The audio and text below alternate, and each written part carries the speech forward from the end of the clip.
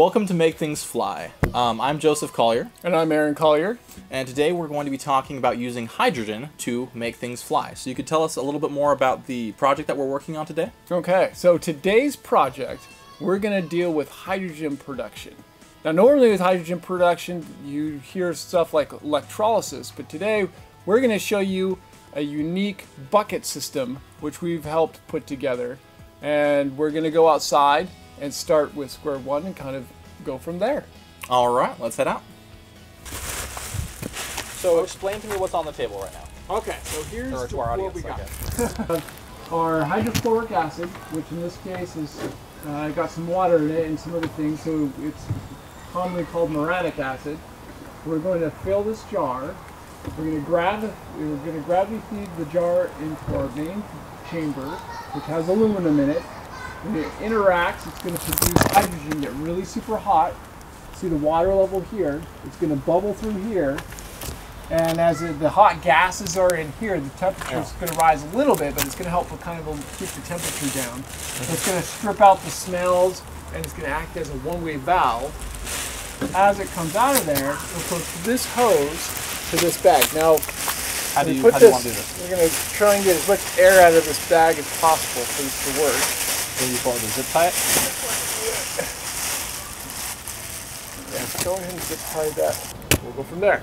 Okay. Okay, let's talk about personal protection. You're going to wear, Dangerous. yeah, so you can see the skull and crossbones. That's what that means. It says danger, poison, do not ingest or spill on yourself. This does is extremely corrosive with metals. So this table we have, we have to be a little gotten a lot of damage. I don't care if the table dies. Yeah, So it's a table. It's a table.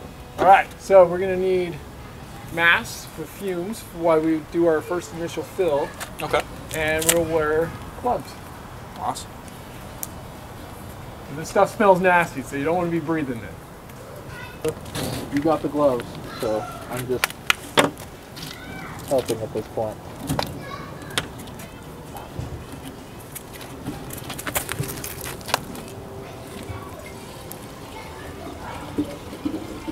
Third.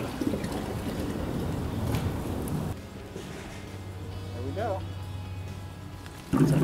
So we got this bucket is now rumbling as the acid is interacting with the aluminum. The hydrogen, which is super hot, over 250 degrees, is coming through this hose. It's kind of loose now, but you can see the water is completely pushed through. The second bucket is also rumbling as water, as the hydrogen's bubbling through and through this hose, and now it's starting to fill the bag. Let's give it a little bit more. Not enough yet. It's it's about as heavy as the surrounding air. So no hands, it's just kind of floating. The bag's about oh, it's almost halfway full. So this basic setup that we have here is how they used to do it, going all the way back to the early days of filling. Like they fill up giant uh, light in there balloons and they go up. This so instead of buckets, though, they used uh, wooden casks. Imagine pretty big wooden casks. Yes. Yeah. Instead of aluminum, they also used iron and a bunch of different things. But this is the basic system, just buckets. They get a lot of hot steam since it's acid involved. Some of the byproducts are toxic, I believe. Yes, like the muriatic acid.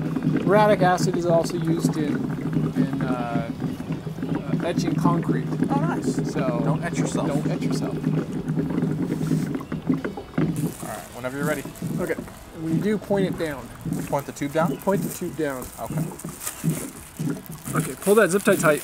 Pull the zip tie tight. Oh, this one. Yes. Pull it tight. Go. The reason why we point this tube down Yeah, that's got some tug to it. is we don't want the air. That's got a lot of tug to it. Okay. So there you have it. Looks like we made it fly. Okay, three, two, one. All right, so here's what we're gonna do. It's kind of a fun finale. We're gonna fill up this tiny bag of hydrogen, and then we're gonna light it on fire. All right, so that's spewing hydrogen. So when you do your Huh? Is that fun? That is pretty fun. It smells very strongly. So just for fun, this little bag that we have, right? So I bet you've heard that hydrogen is very flammable. Mm-hmm. So just as a demonstration, It's number I'm one going to burn quality. this bag. You ready?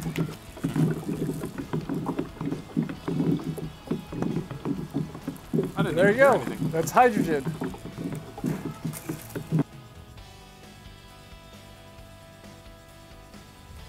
Thank you so much for watching. Please feel free to uh, like and subscribe on the video and comment any thoughts or suggestions that you have for future projects. And uh, hopefully we'll see you for our next project. All right, Thanks. take it.